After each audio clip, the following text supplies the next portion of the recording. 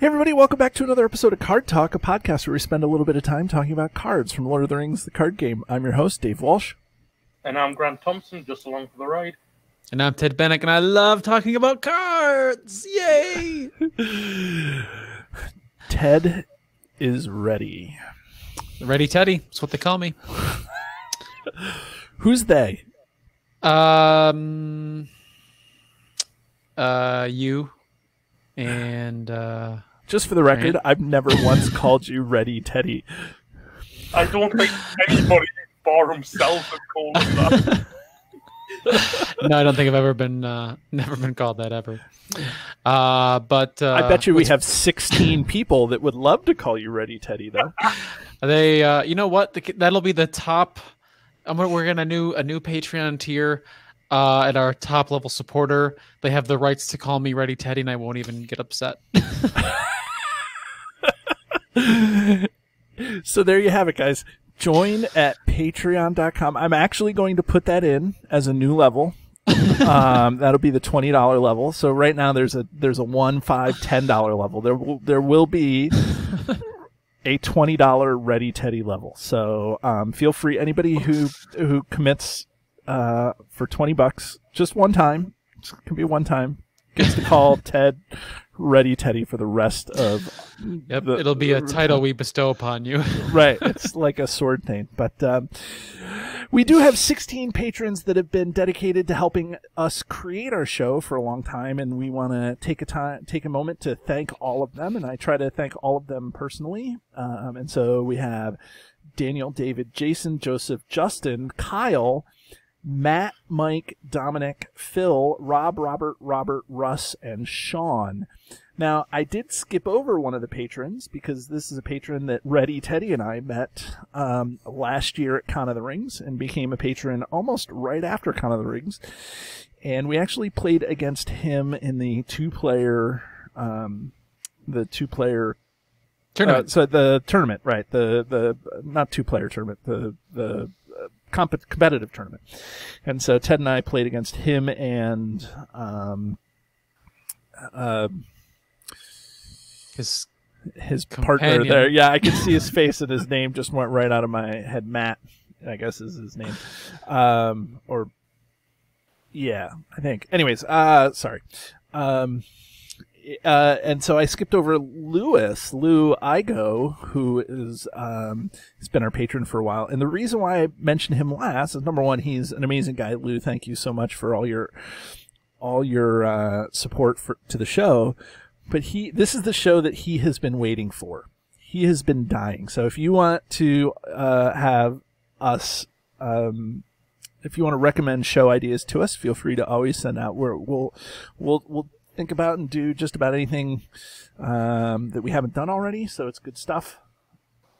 Yeah, and we uh, re- we uh, revisit cards too from time to time, especially if we've done a spoiler episode on them, and not a card that we've done after release. So feel free to uh, send us an email, hit us up on Facebook, um, comments on uh, our videos below, and we'll be happy to uh, take your suggestions for content you want to see or cards you want us to visit. Yeah, and so um, because of that, Grant, what card are we going to talk about today? Well, we're going back to the Core Set Stables. Of course, going... Staples. Yeah. We've done a Yeah. lot of those. we are going for the Elven Princeling Legolas. Um, he is nine cost, one willpower, three attack, one defense, four hit points. He has the noble Sylvan Warrior crate. He's got the keyword ranged, and with the response, after Legolas participates in an attack that destroys an enemy, place two progress tokens on the current quest. Yeah, that's good. So Grant, Core but- set Legolas, the first rules am uh, am, ambig, am, am- ambiguity, and ambiguity. Thank you. right? that caused me to uh, look up how to understand this uh, damn game. Well, what what was that? Ted, talk about that ambiguity right now. oh, sure. Um, when the game first came out, I mean, there's still lots of rules questions today, but when the game came out, there, there, there were plenty, and and uh, the first of which came up was Legolas's ability. Uh, his ability reads, you know, after he uh, destroys a, a, a an enemy with an attack, he puts two progress on the current quest. But what was kind of misunderstood about that is that the location uh, acts as a buffer always between um, putting progress on on the quest. Stuff progress goes on the active location first. And it's kind of bizarre because like the wording specifically says put on the quest. But his progress actually goes on to the active location uh, is how it's been ruled because you know progress flows just like when you quest progress flows from the active location first to the main quest scenario and that came out in the FAQ 1.1. Yeah. 2011. and I there you know what there's still something I'm unsure about and maybe it is answered in that rules FAQ. Um I don't know what happens to his ability. Let's say you have uh, active location, you kill an enemy with Legolas, and the quest only needs one more progress to be complete. Does he put one on the quest, and then the one goes to, or excuse me, one on the quest and, and one on the active location? Because all it needs to be taken, or is the one wasted? Um, I believe it goes. Um, with it saying two progress on the current quest, I believe it goes one on the location and then one on the quest card, if that's how it goes. Yeah, I should Uh, reread the uh, FAQ on it to see if it. Spe- That's how I've actually always played it. If Well, the location only needs one more. I've got the FAQ um, notes up here on Hall of Beorn. If you have an active location, progress tokens are placed there instead of the current quest card. This benefit occurs anytime Legolas is part of an attack that destroys an enemy, whether he attacks alone or with somebody else. Right. And I think that that it always spills over to the quest card if you Yeah. yeah. However, I- I believe they would be wasted if the quest card would flip after one progress was placed on the quest card. correct. Yep.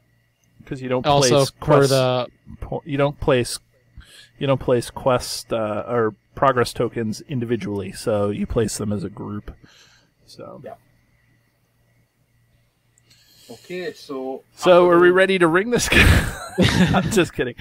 Um, uh, let's talk about what else he does. Uh, Yeah. But yeah, let's talk about his ability, and we'll talk about his traits and his keywords and everything. So, who's going So- first? Grant Grant's gonna go first. Grant's going first. he loves Grant, let her- Legolas. I don't know if he loves her- Legolas, but get right up in that mic, Grant, and tell us what you think. Well, as of um, recently, since I done the um, Attack on Dol Guldur epic multiplayer, I have found a newfound liking for Legolas. He is definitely shown me his worth in the recent parts of the game's life. Yes, he was brilliant back when it first came out, but then I found he quickly went into my binder for other types of decks that I was playing. But for the past few months, he's been making into a few more decks.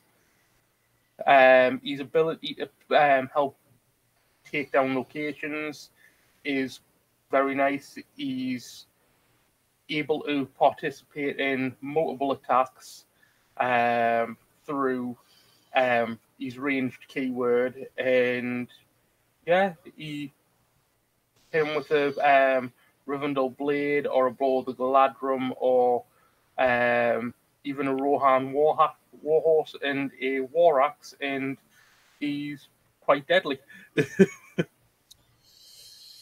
Yeah, I mean, I agree with with Grant on a lot of that. Um, a lot of what you said, you know, a couple of those attachments on him make him really good. Um, the Blade of Gondolin from the very from the very uh, beginning of the core set is like his his jam. You know, that's that's what you do. But the the the hard part with playing Legolas is he doesn't quest, but he can take if if you're thinking about building a deck from the beginning, um, when you have a limited card pool, Legolas can take care of the attacking, but he can't do much else really well. I guess he could take a defense if he needed to with with one defense and four hit points. That's enough to kind of take a defense. Um, but he's not really questing, and you want to keep him around to be able to attack. So, um, and his ability to kill things is pseudo questing, which people I think appreciate with him. But I think that you, at least my trajectory with Legolas is that like at the beginning I was all about Legolas and what he was doing and I was attaching stuff and making him attack for six or seven, you know, out of the beginning. And then during the middle of the game or the, you know, when I was expanding my card pool and I was trying other things, like I feel like Legolas didn't have enough oomph to really put it in a deck because I play solo mainly. And so if I'm playing solo, I need to be able to do everything. And Legolas is good at one thing, but he's not good at much else. And that and that what do I want to say? That kind of hampers me from wanting to put him in the into a deck. Um, but now I've kind of come around and said, okay, there's so many good allies that can do can help out that Legolas may come back into play.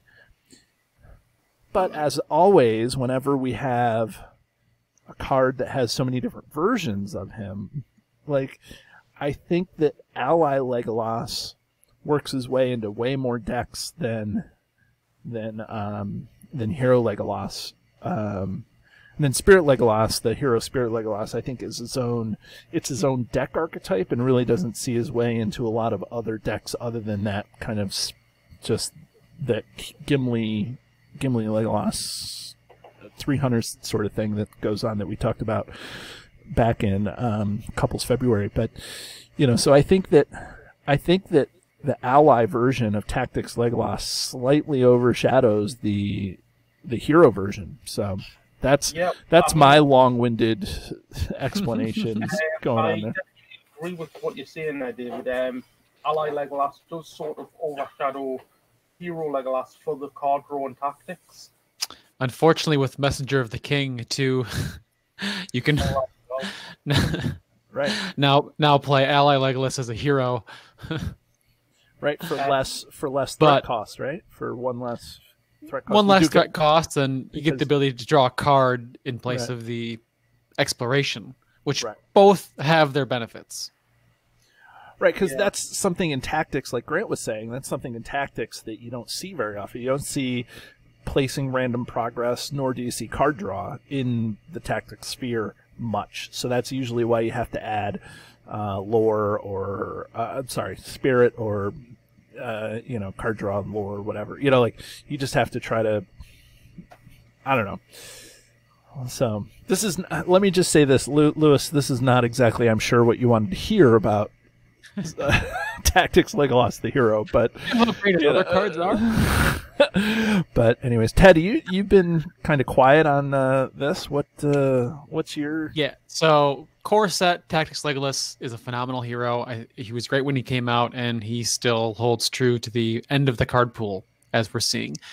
He he loses a little bit of um of steam when you play him in true solo, a little bit just because his ranged keyword um, is not as effective. Um, but as soon as you're playing two or more players, he his value continues to skyrocket. His pseudo questing has saved. Um, you know, it's there's. I think it's kind of an underestimated ability um, because he is in a way he, he's he's providing that attack strength of three, and in a way he's also providing two willpower. As if you'd had another character that had quested for two. Um, it doesn't quite work like that, but it's again, it's kind of a, a more subtle way to make progress on the quest. And there are a couple times, depending on the scenario, where there are locations that, when they're active, they have bad effects. Um, you know, they prevent you from doing something either that turn or the next turn. Like you, you can't reduce your threat when this location is active, or you can only play one card per phase or per turn when this location's active. And Legolas will clear that location at the end of a turn instead of, you know, the halfway through the next turn after you quest. and there's quite a bit of value on that. And you stack a blade of Gondolin and A Rod on him, and now all of a sudden he's, you know, putting four progress on a location. Like that's going to explore a big chunk of locations in the game. Yeah, I think that it's important to talk about um, some of these attachments that that are going with. Yeah, with yeah, yeah, yeah. and so yeah. like because I think that he's a fine hero out of the box. One of the things that um, I think that uh, Mr. Underhill, Ryan Kelly, uh, worked was talking about uh, on our show that we did with him year and a half ago, two years ago, whatever it was, is that like the ability on the hero is what I am looking at, and so that ability on hero Legolas is is is fine. It's great, you know, put two progress, but it's contingent on having enemies. And sometimes, you know, even in the early core set, you know, Shadows of Mirkwood cycle days, you know, you play the Hills of Emyn Muil, you may not ever get an enemy. You play, um, you play the Hunt for Gollum, you don't get very many enemies out. You know, like, so it's contingent on being able to uh, kill an enemy to put those two on there. Mhm. So that so it's not something that you can get all the time.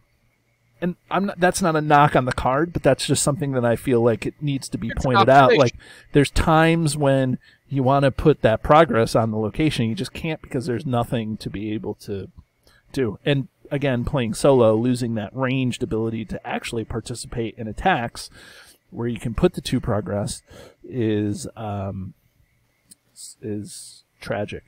if you want to see Legolas utilized to pretty much full potential, go check out um, Mr. Underhill's live stream of Attack on Dol Guldur from a few weeks ago. You will see Legolas just dominating combat. Yeah. Yeah, his um his ability that uh, we're talking about, uh, Grant. You mentioned the Rohan Warhorse. The nice thing is about Legolas's abilities; it's not limited once per phase. So if you give him any type of action advantage through unexpected courage, Rohan Warhorse, uh, they synergize so very well with his ability. Because now, if he's getting two kills, you know he's putting four progress on the questor location, and that's yeah, that's um, not nothing. That's a lot. That is. Yeah, Right. especially when he attack, especially when he can kill things on his own. So you've got, say, a blade of Gondolin on him. You've got the Rohan Warhorse, and you've got the War Axe. There's three attachments. He gets to ready twice, and he's attacking for seven, six, seven. Yeah. Orcs. You're talking about a gold, a three hunters or golden belt scenario, right? Where you can have three attachments. The Golden Belt scenario. Just pointing that out. Yeah, and then if you add on the three hunters and get that fourth attachment, you can then put him up to something like eleven attack, and he's pretty much just wiping the board with any enemy that's coming out. Well, you you- can you can boost up his attack pretty pretty well without doing the three hunters or I mean you can you can give him the, you could give him the one ring and give him strength and courage. So that's he's up to Well- attack now. He's up to seven attack. And then you can give him you know the a, a blade of gondolin or the war axe you know and, and then you can you can give him a rod. You know I mean there's a lot of ways to to make his attack even The Dunedain marks. Right, without even using um, the golden belt. So unrestricted for the one ring, so yeah, um, you don't have to um, use up all these restricted attachments to boost his attack. I was just using them as an example. sure, sure, sure. and once he gets online and he's dominating like every enemy that's coming out, if you've got an enemy heavy quest, you can quite easily blow through locations that um, would normally take you maybe one or two rounds to get through if it's got six quest points, if it's got four quest points. Um, and if you've got, as Ted said, if you've got the readying, you just blow out those locations one turn and then you're on to the next one. Yeah, I think that uh, I think that this guy is is pretty good. Once what's what's the what's the I don't know threshold for making him an an awesome attacker that you don't have to worry about stuff like. If he gets up to seven, are you good? If he gets up to six, is he good? Like, um, six or seven, and you're sitting fairly nicely um, with the with the ability because generally most enemies have between five and seven to um, like completely wipe them out. Some quests need a bit more if you're going up against like hill trolls or cave greater cave trolls or like the Nazgul, they take a bit more, but generally about six, seven.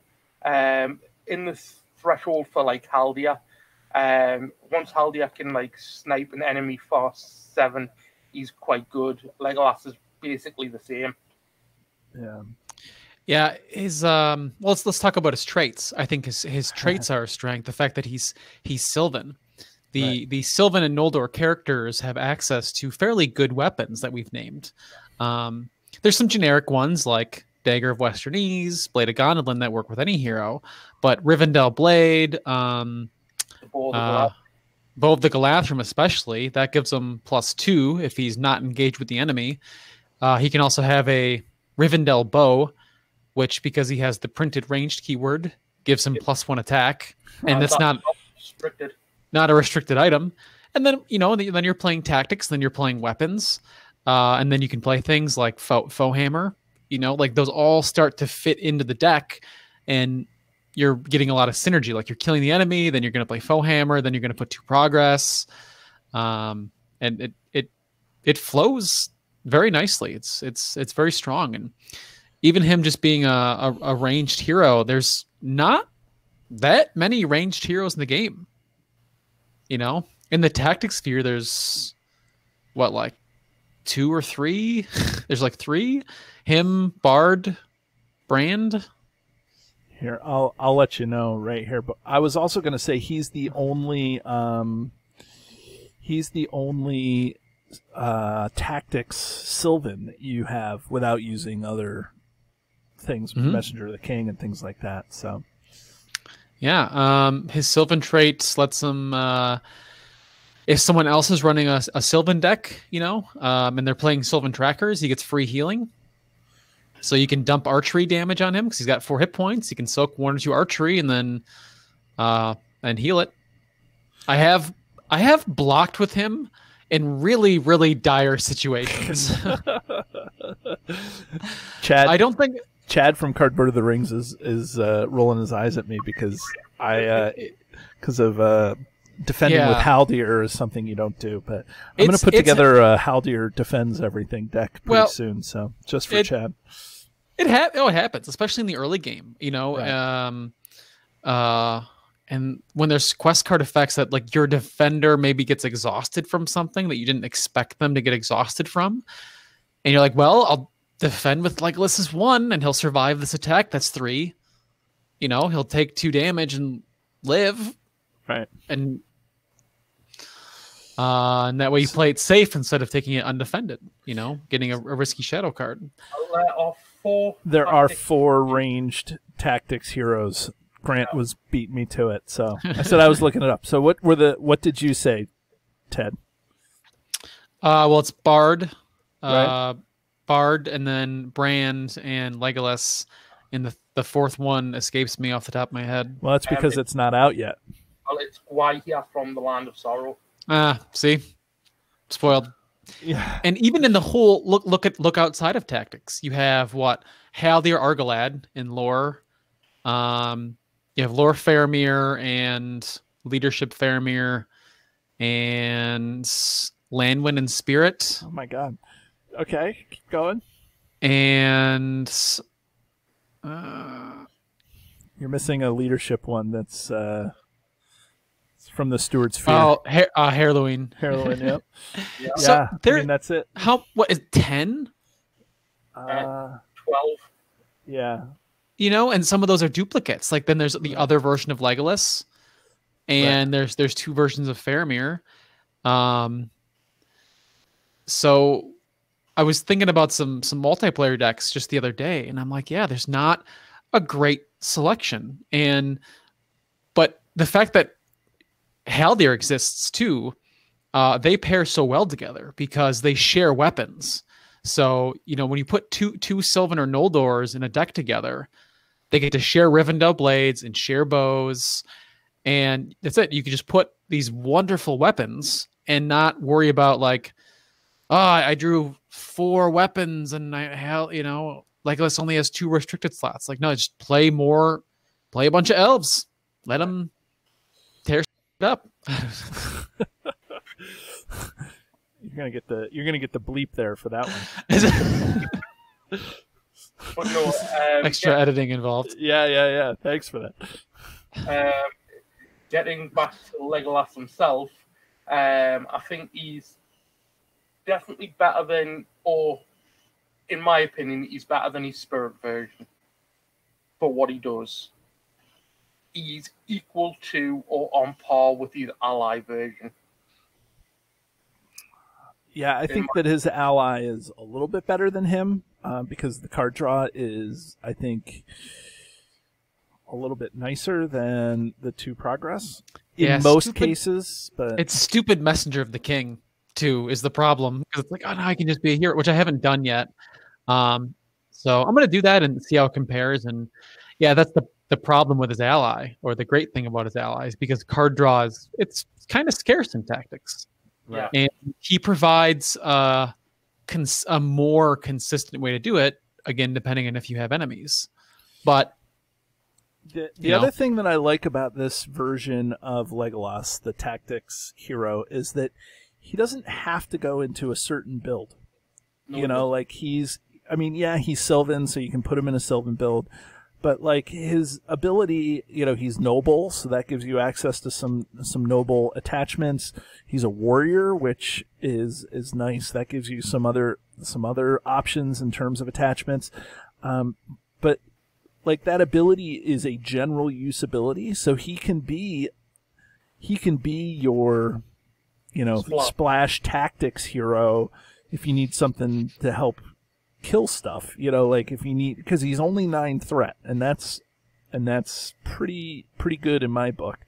So you know like i i like him. He's like general general use general purpose in that case. So like that that makes him a little bit better. But i think that I think I stick to that whole like he's good early on in the early card pool, and then you kind of move away from him, and then you just kind of come back to him a little bit here and there. But you never forget about him. But you always kind of I think it also comes down to how much of the card pool you have access to as well. Um, as you say, Legolas shines right at the beginning of the card pool. And then as your card pool expands, if you do it the way um, it came out, so you go into the Dwarrowdelf, then you go into the Heirs, and so on and so forth, he kind of loses his hype and his ability to just kill things up until you get to um, later on, and then you get a surplus of stuff that you can do with Legolas again, and then he sort of teeters on the edge of well, do I use Legolas? Do I use Haldir? Do I do this? And as you say, David, he's always there. You never forget about him, but you're not always reaching for them. right. I I'll wrap this up um, here just by. Well, I was going to say something and then I forgot what I was going Shall we to say. So, hmm. I don't know. Should we ring this guy then? let's do it. Put him through the ringer. Put him through the ringer. Okay. So, I've got one thing to say. sure. Um, Magali Ve- Villeneuve, uh, Miguel. I- yeah, has done a beautiful bit of artwork for like Legolas on this card. Yeah. That's true. Um, I remember opening the core set, you know, and like looking through the cards and the tokens and being like, "Wow!" And then one of the cards that he like that immediately caught my attention and how great the artwork is was was Legolas out of the core set. You know, because it was such a departure from, uh, you know, like the movies. You know, because people were like, "The blonde." This is more true to, um, the literature. Right. That's that's the thing, right? Like the the the dark hair and gray eyes. Mhm. So Okay, well, let's ring this guy. For anybody who is new to the show or uh, has forgotten, we have a highly scientific yet arbitrary scale where we rank this, rank each card on a scale from one to ten, where one is the one card to rule them all, and ten is the card that we throw back into the fiery chasm from whence it was made. So, um, I guess we've done this for almost every card that we have. And Ted, we're gonna let you go first, buddy. Oh, I put him to the ringer. Um, I'm gonna give him a tray Wow. Okay. to to a tray so he can hop on the tray and then slide down the stairs and shoot orcs like a bad cool guy. Uh, I'm gonna give him a three because he's a tactics uh, hero. Tactics heroes attack things, and he gets a bonus for attacking things. And he's ranged, so he makes it easier to attack things. And his traits are wonderful to support him attacking things. Attacking things. I saw that coming from a mile away. I think everybody did. yeah. I'm gonna give him. I'm gonna give him a three, Okay. and even then, he's close to a two. Wow. Okay. Lou, I hope you're hearing this, buddy. yeah, Okay. Grant, what do you think? I'm also going to give him a three. He's excellent at what he does. As I say, I found a newfound respect for Hero Legolas over the past few, well, past month or so. And um, although I'm not reaching for him for every deck, um, Hero version, I am definitely considering him more in more in certain deck types in deck builds. So I'm also going to give him a three. Uh, well, being the guy that plays solo a lot, I'm gonna have to, I'm gonna have to reel it in a little bit. I'm gonna have to give this guy a five. I enjoyed him early on in the card pool. Like I said, I think that he he has a great place, but I feel like he lost his luster for me um, for a lot of this. I play a lot of his ally version, um, even though his ally version is ranged, um, just for that card draw that is phenomenal. So um, I'm gonna have to give this guy a five. So Lou, sorry, buddy, I just had to be honest. So I think when I think as a just as an aside, I think when Lewis told us uh, we we sent out like a questionnaire, and he said, um, "Do a show on tactics Legolas, um, explaining um, about the hero, and you know, explain why he's the best. You know, something like that. You know, like something something silly. So I guess Lou really likes this guy. So, um, so anyways, there you have it.